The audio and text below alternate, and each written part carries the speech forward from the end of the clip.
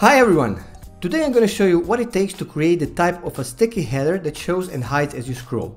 More precisely, what it takes to create one by using the GSAP and scroll trigger in Elementor.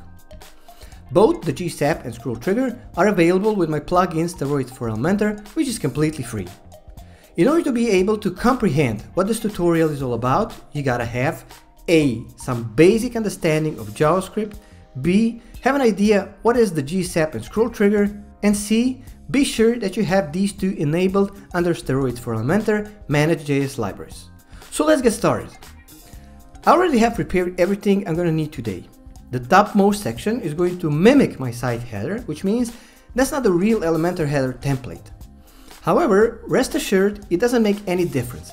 It can be just a section, the real header template, the header created with the header footer and blocks plugin for Elementor, or even the theme header that has nothing to do with Elementor. Everything will work just fine. The rest of the content on this page can be taken as a placeholder for the future tutorials on a GSAP and scroll trigger topic, so there will be more very soon.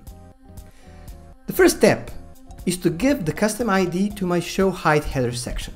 So I'll go to the advanced tab, advanced panel, and simply enter the unique identifier, aka element ID, into the CSS ID input field. It's going to be OB site header. As we are about to write some custom code We'll either need the third-party WordPress plugin that allows adding the custom code, or in case you have the Elementor Pro version, you can use the custom code feature. This time, I'll consolidate with those people who don't have the Pro version and I'm gonna use a third-party plugin named Custom CSS and JavaScript. It's free and I'll put the download link to this video description. Today I'll need both the CSS and the JavaScript. That's why I'm gonna open each in a separate browser tab. My next step is to lock position of the header element. So I have to make it fixed and always atop of every other element on page. So the ID of the header is ob site header. Position property will be fixed. Z index should be something really high, something like, I don't know, 999. And in case that's not enough, for some reason, increase to whatever is right. And finally, the width which must be 100%. At the end, I'll just save my custom CSS code. Now let's go back to the editor for a while to check for any visual impact of the code that I just wrote. As you can see, my fixed header now covers the underlying element, which is the hero section, and which doesn't seem to be right because we'll have to use the navigator in order to access the hero section. What I can do to avoid any problems of that kind is to make my custom CSS code work in the front end only. That's why I'll go back to the code and prepend the site header rule with the negation pseudo class, body not, which says that whenever the body element doesn't have a class name Elementor editor active, apply the rule normally. The custom class name Elementor editor active is only added to the body element when we are editing our page in Elementor. Let's handle the JavaScript now. In order to save some typing time, I'll go to my gist library first and then copy the chunk of code that I use like a starter whenever I need the GSAP library in Elementor. It's the anonymous function that includes the GSAP scroll trigger checkpoint and says that in case both of them have become a part of the window object, their properties and methods are safe to be used. So now I'll just have to rename the existing function to something more appropriate like show hide header let's say show hide header. Because in the future I'll add more functions, each of which will be in charge for a different task. You can find the link to my gist starter code in the description of this video as well and use it if you like. Next, let's create the reference to our site header. So it's gonna be const, constant site header. If you recall, the ID of our header section is OB site header. And if I didn't label the site header in first place, it would be much more difficult to access or create a reference to that element in JavaScript. In general, when it comes to animation, there's more than just one way to animate that header in GSAP, effects-wise of course, but the logic is only one. And it says that whenever the page is scrolled down, play the animation of the header moving upward off the viewport. And if the page is scrolled up, play the same animation in reverse. So the point is to create the simple GSAP animation that will be controlled by the scroll trigger because the scroll trigger can tell whether the page is scrolled up or down. So let's start. Let's create the animation first. Uh, I'm going to store my animation in a variable so I can use it like a reference to the animation itself later whenever is needed. Initially, the, the site header is going to be positioned off the viewport. Its Y position should be minus 100% of its own height, which is enough to hide it entirely. The animation should last for 0.25 seconds or whatever works for you. 0.25 will be good for me. And I'll add the sine out ease effect to make it more to make it move more naturally. Again, it's a matter of personal preference.